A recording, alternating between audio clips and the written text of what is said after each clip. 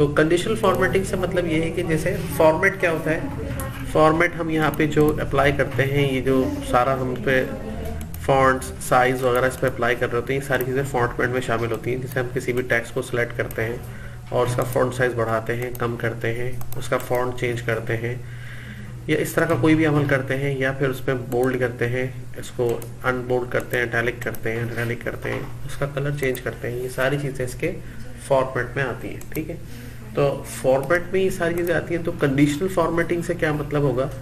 मतलब हम इसका जो फॉर्मेट है, वो चेंज करें। खुद ब खुद चेंज करें किसी कंडीशन के मुताबिक। अब किस कंडीशन के मुताबिक चेंज करें? अब यहाँ पे कंडीशन का मतलब होता है कि कोई शर्त, कि आप क्या शर्त चाहते हैं, जिस पर ये वो फॉर्मेट को चेंज करें। तो यहाँ पर देखिए मुख्तलिफ़ ऑप्शन है। पहले ऑप्शन में हाईलाइट्स है। अब हाईलाइट्स का मतलब होता है कि कुछ भी ना करें, सिर्फ़ उसको हाईलाइट करके आपको दिखाए।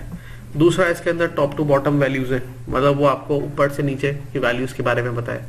हाईलाइट सेल रूल्स में क्या है हमारे पास? तो हाईलाइट सेल रूल्स पे हमारे पास ये ऑप्शन आ रहे हैं। Greater than less than between equal to और ये। तो ये चारों के चारों जो अप्लाई हो रहे हैं, वो नंबर्स के ऊपर अप्लाई हो रहे हैं।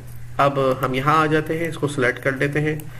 और यहाँ पे से जो पहले मेरा फॉर्मेट है, इसके ऊपर उस फॉर्मेट को मैं कलर खत्म कर देता हूँ उसमें से। तो यहाँ से जाके मैंने इसका बैकग्राउंड कलर खत्म करके ब्लू कर दिया।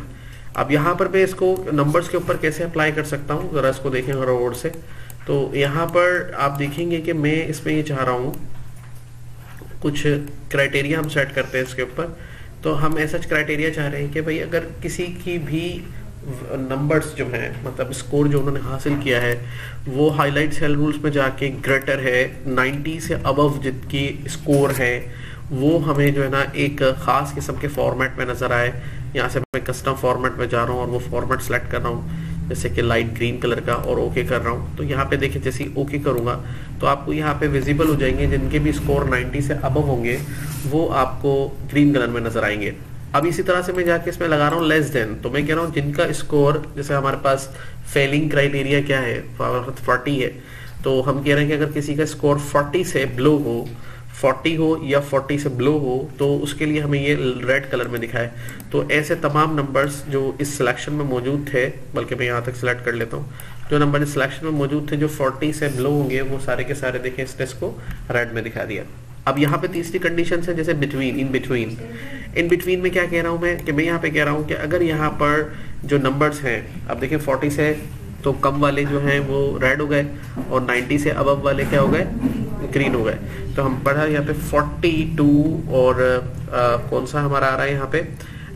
नाइन्टी तो यानी कि 40 और 90 के दरमियान के जितने भी नंबर्स हैं उनको एक किसी खास किस्म के फॉर्मेट में दिखाओ। लेट सपोज़ उसके लिए मैं चूज़ कर देता हूँ येलो कलर और ओके कर देता हूँ। तो देखिए, ये आपको तीनों क्राइटेरिया के अंदर आपके डेटा को विजिबल कर रहा है। और इतना ही नहीं, खाली जो डेटा मौजूद है, उस पर अप्लाई नहीं हुआ ये। बल्कि बाद में भी अगर वैल्यू चेंज होती है फॉर एग्ज़ाम्पल यहाँ अलेवन है 11 से हम कर रहे हैं 56 एंटर कर रहे हैं। तो देखिए येलो कलर का हो जाएगा, क्योंकि ये 40 और 90 के दरमियान में आ गया। और अगर मैं इसको ले जाके 91 की वैल्यू असाइन कर रहा हूँ तो ये ग्रीन हो रहा है, क्योंकि ये 90 से अब चला गया।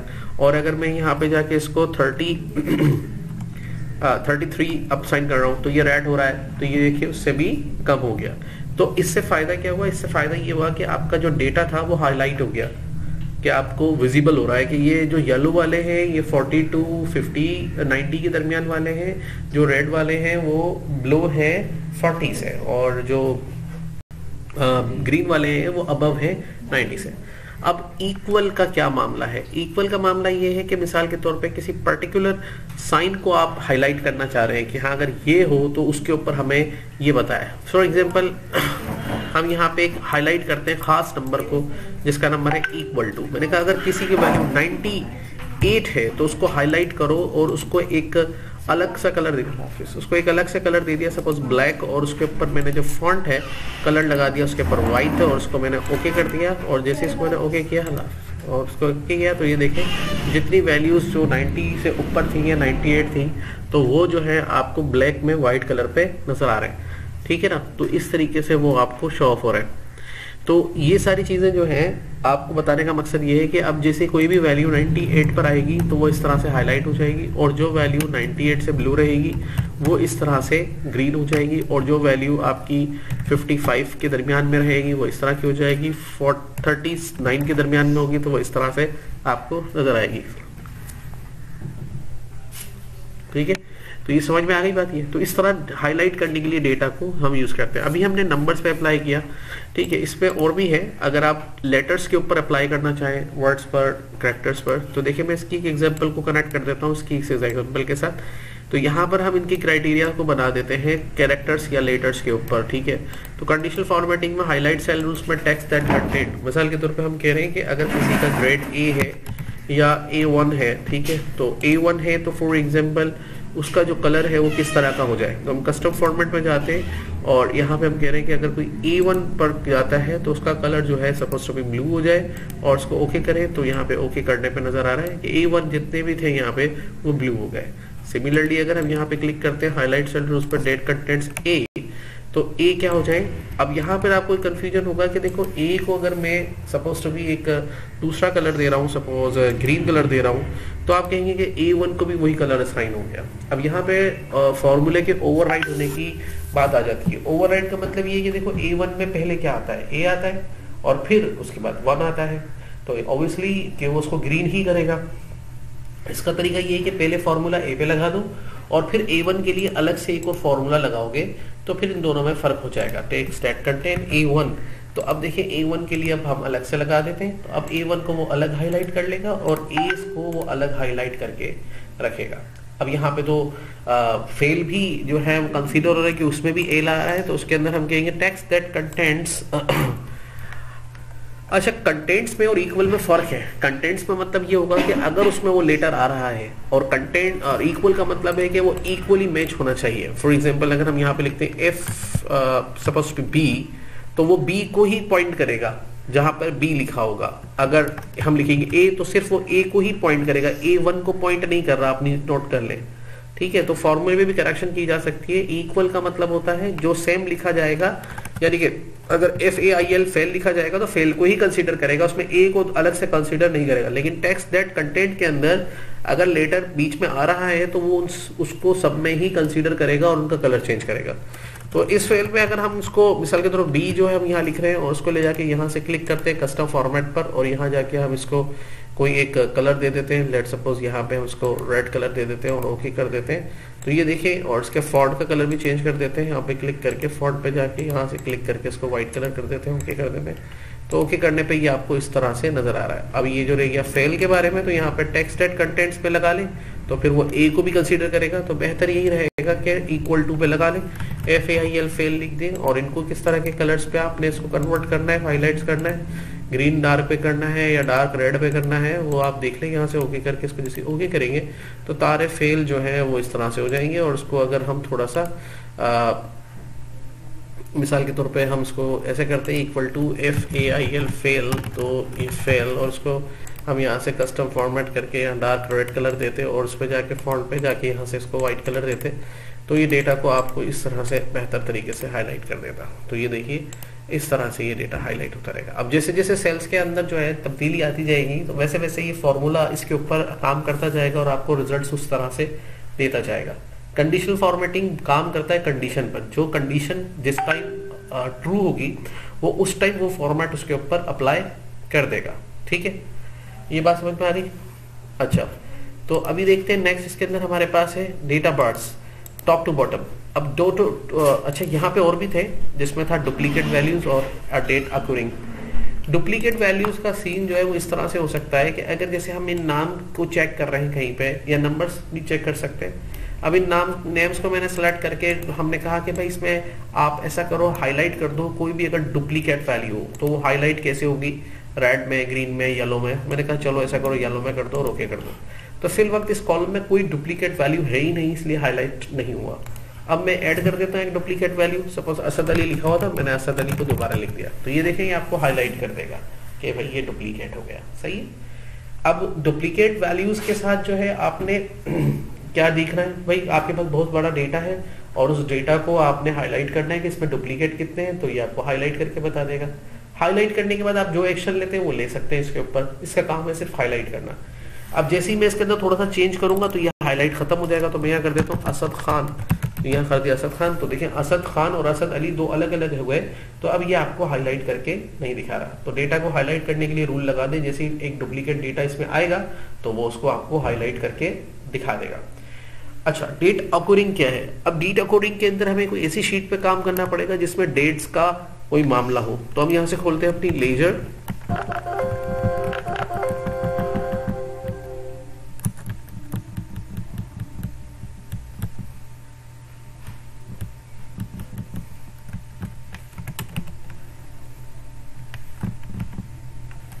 ठीक है तो इसमें हमारे पास मुख्तलिफ़ डेट्स लिखी हुई हैं। इसमें हमारे पास फरवरी की डेट लिखी हुई है और इसको मैं सात फरवरी की डेट से कंटिन्यू कर ट्रैक करता हूँ और सितंबर की मई की भी है इसमें ठीक है इस पर सितंबर की है, मई की है। तो मैं इसको थोड़ा सा ड्रैग करता हूँ, नीचे तो ये ऑटो जनरेट करेगा डेट तो ये जून, जुलाई, अगस्त, नवंबर तक की डेट्स इसके अंदर आ गई, ठीक है? तो अब इन डेट्स के अंदर क्या है? अब इन डेट्स में अगर आप कॉलम को सिलेक्ट करें तो पूरा कॉलम सिलेक्ट हो गया। हाईलाइट को चाहिए तो डेट अक्यूरिंग अब डेट अक्यूरिंग में कह रहा है कि ऐसा करो कि यस्टरडे जो कल डेट थी, उसको हाईलाइट कर दो रेड कलर से। वट जो भी कलर आप सिलेक्ट करते हैं ओके करेंगे। तो कल की डेट ट्वेंटी फेबरवरी थी तो ये हमें दिखा रहा है कि देखिए रेड कर दिया इसने। सही? ओके तो उसके बाद सेकेंडली हम कहते हैं डेट अकॉर्डिंग यस्टरडे के बाद टुडे आज की डेट को कर दो ग्रीन कलर से। तो जो भी आज की डेट होगी, वो आपको ग्रीन में हाईलाइट करके दिखा रहा है। फिर उसके बाद आप कहते हैं डेट अक्यूरिंग और आप कहते हैं कि भाई फॉर एग्ज़ाम्पल टुमारो कल क्या डेट होगी, इसको कर दो येलो कलर में। तो ये देखो, आपको येलो कलर में दिखा रहा है। उसके बाद आप यहाँ जाते हैं, फिर कहते हैं डेट अकोरिंग फिर उसके बाद कहते हैं लास्ट जो सेवन डेज़ थे, उसकी डेट को हाईलाइट कर दो किस कलर में, जिस कलर में हम चाहते हैं, इस कलर में ओके कर देते हैं। तो पिछले हफ़्ते की तमाम सेवन डेज़ को उसने हाईलाइट कर दिया येलो कलर में ओके कर दिया। फिर हम चलते हैं इसके अंदर और फिर कहते हैं डेट अकोरिंग फिर यहाँ से कह रहा है कि लास्ट वीक हो गया दिस वीक इस हफ़्ते के कलर्स जो डेट्स हैं, उनको कर दो सपोज़ टू बी इस कलर में ओके कर दो तो इस हफ़्ते के सारी जो डेट्स थी, वो इस कलर में इसने हाईलाइट करके दिखा दी। मतलब आप डिफरेंट चीज़ें अप्लाई करेंगे, मैं सारी अप्लाई करके बता रहा हूँ एक एक करके। एज पर नीड आप जैसा रिज़ल्ट चाहेंगे हाईलाइट कराना, वो तो उसी वक्त आप अप्लाई करेंगे, एक कंडीशन या दो कंडीशन लगाएँगे। उसके बाद डेटा कोरिंग पे क्लिक करते हैं, और फिर कहते हैं नेक्स्ट वीक अब नेक्स्ट वीक के बाद हो गया लास्ट मंथ पिछले महीने की सारी डेट्स अब पिछले महीने की कोई एंट्री नहीं है, क्योंकि ये एंट्री फेबरवरी की है। जनवरी की कोई एंट्री नहीं है तो उसको हाईलाइट ये। नहीं करेगा। दिस मंथ और इस मंथ की पूरी एंट्रीज को आप हाईलाइट कराना चाहें तो किस कलर में आप चाहते हैं उसको हाईलाइट कराना, उस कलर में ये इसको हाईलाइट करता रहेगा। और उसके बाद नेक्स्ट मंथ अब अगला मंथ है मार्च का तो मार्च की सारी एंट्रीज को किस कलर में हम करना चाह रहे हैं तो देखिए सारे महीने को इसने इस तरह से कर दिया। तो डेट के ऊपर भी आप इस तरह से रूल्स लगा के उसको हाईलाइट कर सकते हैं। अच्छा एक दफ़ा जब आप रूल लगा देते हैं तो रूल को खत्म कैसे करते हैं? देखिए रूल को खत्म करने का दो तरीके एक तरीका तो ये है कि मैं सेलेक्ट नहीं करूँ और सबके ऊपर से रूल्स को खत्म कर दूँ तो ये clear rules from entire sheet अब इंटायर शीट का मतलब यहाँ पे भी रूल लगा हुआ है, यहाँ पे भी लगा हुआ है, इन पे भी लगा हुआ है, सब पर से खत्म हो जाएगा बगैर सिलेक्शन के. और अगर हम किसी एरिया को सिलेक्ट करके खत्म करना चाह रहे हैं तो इसका मतलब मैं सिर्फ़ उस पे से वो रूल खत्म करना चाह रहा हूँ, बाकी पे वो रूल खत्म नहीं हो. तो क्लियर रूल्स करके क्लियर फ्रॉम सिलेक्टेड सेल पे क्लिक करेंगे तो वहाँ से वो उस रूल पे को एरिया को क्लिक कर देगा. अच्छा उसके बाद हमारे पास अगला ऑप्शन है, ये सारे ऑप्शंस करने के बाद नेक्स्ट ऑप्शन है टॉप टू बॉटम वैल्यूज़ अब टॉप टू बॉटम वैल्यूज़ में भी हम नंबर्स के ऊपर अप्लाई करेंगे और यहाँ कह रहा है top ten top ten percent top ten items और इस तरह की वैल्यूज़ की बात कर रहा है। तो हम इसको थोड़ा सा समझने के लिए चलते हैं सेल्स प्रोग्रेस की शीट के ऊपर और उस पर हम समझने की इसको तरीके से कोशिश करते हैं। तो यहाँ पर देखिए हमारे सामने कुछ वैल्यूज़ है जो यहाँ पर लिखी हुई है। अब इन सारी वैल्यूज़ को आपने सेलेक्ट कर लिया कॉलम की मदद से या सेलेक्ट कर ले जितनी आप चाहते हैं। या चलो ये ज़्यादा बड़ी वैल्यूज़ हो रही है तो यहाँ पर ले लेते हैं, इनको सिलेक्ट कर लेते हैं और कंडीशनल फॉर्मेटिंग में टॉप टू बॉटम में जाते हैं। अब चूँकि इस पर टॉप टेन तो हम नहीं ले सकते, क्योंकि ऑलरेडी इलेवन तो है ही है तो मैं इसको कम भी कर सकता हूँ। मैंने कहा टॉप थ्री वैल्यूज़ को हाईलाइट कर दो। तो टॉप थ्री वैल्यूज़ को मैंने ग्रीन कलर से हाईलाइट किया तो इसने कहा टॉप थ्री वैल्यूज़ इनके अंदर ये हैं, जो कि सबसे हाईएस्ट रैंक पर है।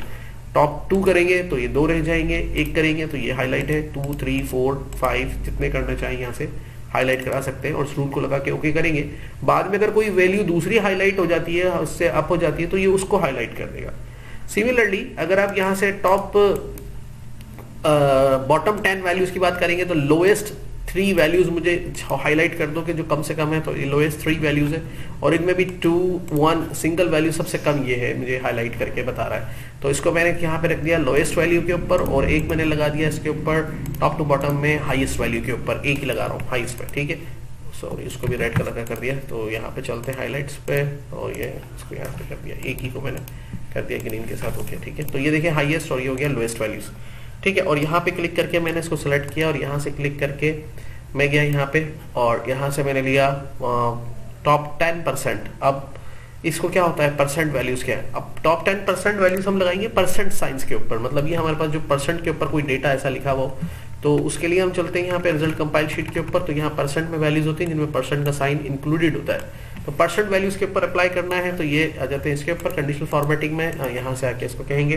टॉप टेन परसेंट तो ये टॉप टेन जो है आपको मैंने टेन की जगह थ्री टू हाईलाइट करा दिए और मैंने इस पर भी कहा कि भाई तो बॉटम टेन परसेंट में भी टू मैंने यहाँ पे लिखा, और उसको मैंने यहाँ पे लाइट रेड कलर से ओके कर दिया। तो यहाँ पे देखिए, जो बॉटम वैल्यूज़ थी वो ज़ीरो पे आ रही है, और और बाकी जो वैल्यूज़ थी। अब अगर ज़ीरो हटा देंगे तो फिर इसके बाद जो कम वैल्यूज़ होंगी तो वो आपको दिखाएगा। और वो है थर्टी टू परसेंट जो सबसे कम वैल्यू है, जो हाईलाइट हो रही है। तो इस तरह से आप अपने डेटा को विजुलाइज करा सकते हैं और जब इसके ऊपर आप ये देख रहे होते हैं कि किस तरह का रिज़ल्ट आपके सामने आ रहा होता है तो हाईलाइट में टॉप टेन अब आते हैं अबव एवरेज और ब्लो एवरेज तो मैंने आपको सिखाया था कि अबव एवरेज और ब्लो एवरेज क्या होता है कि मिसाल के तौर पे आपके कुछ नंबर्स हैं जो आपने यहाँ पे असाइन किए। फॉर एग्जांपल मैंने लिखा फाइव और एट और टेन तो इनका सम क्या आएगा? यहाँ सम किया और एंटर कर दिया। तो इनका एवरेज नंबर क्या होगा? एवरेज नंबर के लिए एवरेज का फ़ंक्शन है हमारे पास। तीनों वैल्यूज़ को सिलेक्ट करेंगे नॉट फोर्थ फोर्थ इसका सम है। तीनों वैल्यूज़ को सम सेलेक्ट करेंगे एंटर करेंगे। तो 7.6 हमारा जो इसका एवरेज नंबर है। 7.6 प्लस 7.6 प्लस 7.6 इक्वल टू 23 हो जाएगा। ठीक है यहाँ पे अगर हम 10, 20 और 30 कर दें तो हमारा एवरेज नंबर है 20, 20, 20, 20 मिलके बनते हैं 60 तो एवरेज नंबर हमारा 20 है तो एवरेज फ़ंक्शन हम ले लेते हैं। अब अब एवरेज नंबर कौन सा होगा? ये हमारा एवरेज नंबर है एवीजी और ये हमारा सम है। तो अब मुझे बताएँ कि इन तीनों वैल्यूज़ में से हमारा अब एवरेज नंबर कौन सा है? अब एवरेज नंबर होगा हमारा 30 और ब्लो एवरेज नंबर होगा हमारा 10 अब मानते जो एवरेज नंबर से बड़ा हो, और ब्लो माने जो एवरेज नंबर से छोटा हो। तो ये भी आपको ऐसे हाईलाइट करके बता देगा। मिसाल के तौर पर हम यहाँ पे चलते हैं सेल्फ प्रोग्रेस में, और यहाँ पर हम कहते हैं इस पे मार्च पर। सेलेक्ट करो और इसको हाईलाइट करो। अब एवरेज नंबर अब एवरेज नंबर का मतलब ये होता है कि उसको ग्रीन में हाईलाइट करा देते हैं। मतलब इन सबको सेलेक्ट करो, सबको सम करो। फिर जो इनकी क्वांटिटी है, ठीक है मतलब ये सब सम हुए और फिर जो इनकी क्वांटिटी है 12 उससे इसको डिवाइड करो और जो आंसर आता है वो चेक करो। जिससे जो जो बड़ा है वो आपको हाईलाइट कर दे। तो ये सारे वो नंबर्स हैं जो एवरेज नंबर से ऊपर के हैं। और बिलो एवरेज नंबर निकालना तो सिमिलरली बिलो एवरेज नंबर पे क्लिक करेंगे ओके कर देंगे। तो सारे रेड नंबर वो हैं जो उसके एवरेज नंबर से कम है। समझ में आ रही बात? है तो इस तरह ही कंडीशनल फॉर्मेटिंग आपको ये सारी चीज़ें यहाँ से दे रहा होता है। अच्छा रूल क्लियर करना हो तो यहाँ से कर सकते हैं। बाकी रह जाता है डेटा बार्स और कॉल कलर स्केल्स और आइकन सेट तो ये आप अपने वैल्यूज़ पे डेटा को विजुलाइज कराने के लिए लगा सकते हैं। मिसाल के तौर तो पर मेरा ये इतना सारा डेटा है, उसको मैं विजुलाइज कराना चाहता हूँ थोड़ा सा ग्राफिक्स के साथ तो इसके साथ ये मैं लगा सकता हूँ डेटा बार्स तो ये वाली डेटा बार्स में क्या हो रहा है, जो नंबर बड़ा होगा, वो ब्लू कलर ज़्यादा भरा हुआ होगा, जो नंबर कम होगा, उसमें ब्लू कलर कम होगा। इस तरह ग्रीन कलर इस तरह रेड कलर इस तरह ऑरेंज कलर इस तरह लाइट ब्लू है डार्क आतिशी कलर है सॉलिड कलर है सेम काम करेंगे और ये ऑटो एडजस्ट होते रहेंगे। जो जो वैल्यू बढ़ती जाएगी, ये बढ़ते जाएँगे, जो जो वैल्यू कम होती जाएगी, ये उसमें से कम होते जाएँगे। कलर स्केल्स ये इससे काम करेंगे, ये कैसे काम करेंगे भाई? जो नंबर ज़्यादा बड़ा होगा, वो फुल ग्रीन हो जाएगा और जो बिल्कुल छोटा होगा, वो रेड हो जाएगा। और जो बीच का होगा, वो ऑरेंज या येलो कलर्स में रहेंगे। सिमिलरली जो नंबर अब सबसे बड़ा होगा तो वो रेड हो जाएगा और जो सबसे लोएस्ट होगा, वो ग्रीन हो जाएगा। फिर ग्रीन से इस तरह शेड्स कन्वर्ट होंगे। तो ये शेड्स के अंदर आपकी वैल्यूज़ को दिखाता रहेगा। जो डार्क ग्रीन है वो जो लाइट ग्रीन है वो अब बड़े नंबर है। जो डार्क ग्रीन है अब वो बड़े नंबर है। जो लाइट ग्रीन है वो छोटे नंबर है। ये कलर शेड्स का काम है। इसी तरीके से आइकन सेट्स के ऊपर अगर हम ये वाला आइकन लगाते हैं तो जो नंबर हाईएस्ट होंगे वो ऊपर की तरफ़ एरो रखेंगे। जो लोएस्ट होंगे वो नीचे की तरफ़ एरो रखेंगे। और जो आ, बीच के नंबर होंगे, वो राइट साइड पे एरो रखेंगे, तीन एरोस दिए गए इसके अंदर। इसमें भी यही तीन एरोस हैं, जो कि कलर के साथ आपके सामने मेंशन हो रहे हैं। इसमें यहाँ पे तीन एरोस दे दिए गए हैं, जो हाईएस्ट नंबर होंगे, वो ग्रीन होंगे, जो मिड होंगे, वो माइनस के साइन के साथ आ रहे होंगे, और जो लोएस्ट नंबर होंगे, वो यहाँ पर आ रहे होंगे। इसमें चार कैटेगरी में हाइएस्ट मिड मिड लोअर और लोएस्ट तो इस तरह से बनाएगा ये। और इसमें इसमें पाँच कैटेगरी बना दी है इसने choose a set of icons of represent to value तो इस तरह से, फिर रेड और येलो के अंदर सेम कॉन्सेप्ट है, बस इसके अंदर आइकन्स को चेंज कर दिया गया है। फिर सिग्नल्स के हवाले से जो नंबर बड़ा होगा, उसमें सिग्नल ज़्यादा आ रहे होंगे। फिर सर्किल के हवाले से देख लें, जो नंबर छोटा होगा, वो खाली सर्किल होगा, जिसमें नंबर ज़्यादा बड़ा होगा, वो फुल ब्लैक हो रहा होगा। और जो उससे कम होगा वो क्वार्टर हो रहा होगा, जो उससे कम होगा वो हाफ़ हो रहा होगा। तो इस तरह से ये चीज़ें इस तरह से आपको दिखाने के लिए, यानी कि यूज़र को हाईलाइट कराने के लिए कोई भी आप एक ट्रिक यूज़ कर सकते हैं। जो नंबर बड़ा होगा टिक के साथ आएगा, जो छोटा होगा रेड होगा, और जो मिड नंबर होगा, वो क्वेश्चन मार्क के साथ आ रहा होगा। अब हमें जो भी बेहतर लगता है, इसमें से अगर लगाना है तो लगा दें। तो यहाँ पे ये देखिए, आपको उन चीज़ों की हाईलाइट्स मिलती रहेंगी। सही? तो ये आप अपने डेटा की विजुअलाइजेशन के लिए, और ये चाहिए अपडेट होते रहेंगे। जो नंबर एकदम, अभी जैसे 400 सबसे बड़ी वैल्यू है फॉर एग्जांपल तो ये ग्रीन आ रही है। मैं यहाँ पे 100 कर दूँगा तो ये रेड हो जाएगी। ऑटो एडजस्ट करेगा, वो ऑटो अपडेट भी करेगा इसको। तो ये हाईलाइट करने के लिए किसी भी अपने डेटा को इसको हम यूज़ करते हैं कंडीशनल फॉर्मेटिंग और जब इसको रूल क्लियर करना हो तो क्लियर कर देते हैं यहाँ से।